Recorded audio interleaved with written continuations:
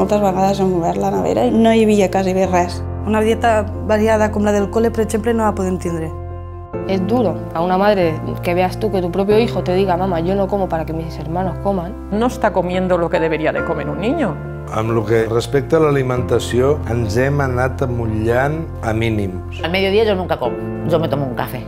La fruta realmente la dejamos para los niños. Hi ha hagut mesos que no hem tingut cap ingrés econòmic. Mis hijos se han acostado con un vaso de leche y nada más. Han faltat molts esmorzars i molts berenars, moltíssims. Ja m'ha faltat molta. Yo no puedo comprar pescado, ya me gustaría. Si un día, en lugar de llevarse un plato de sopa caliente al estómago, se lleva un vasito de leche, el niño no va a dormir igual. En el colegio no va a rendir lo mismo. El cambio que nos ha pegado a la vida sido muy grande. Per estar en una situació molt precària, no deixes a esa persona. El acostumbrarte a una mala calidad de vida es duro. Tengo mucho miedo a verme en la calle, sobre todo por la niña. Has de ser forta per ells, per ells, vius per ells, i ja està.